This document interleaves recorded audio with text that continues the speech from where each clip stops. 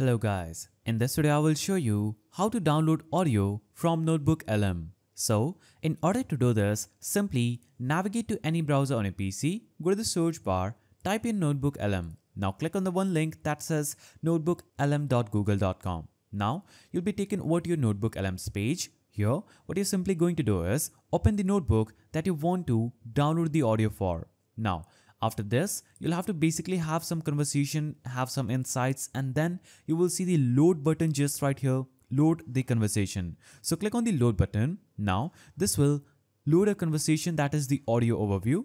So you'll have to wait for a while.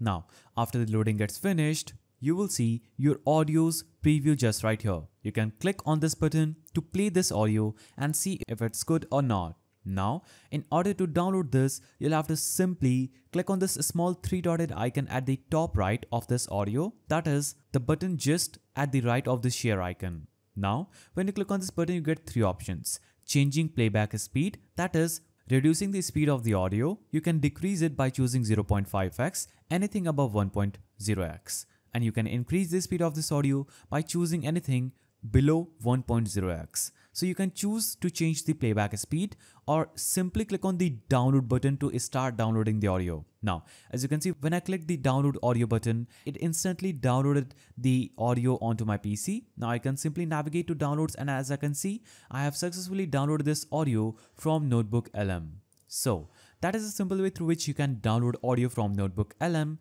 If you found this video helpful, please don't forget to give it a thumbs up and thanks for watching.